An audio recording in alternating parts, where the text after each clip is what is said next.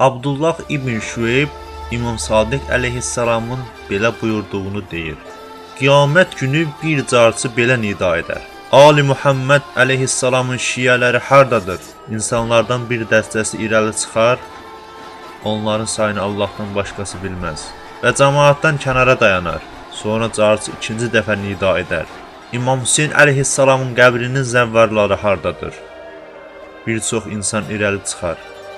Onlara deyilər: İstədiyiniz şəxsin əlindən tutun və cənnətə aparın.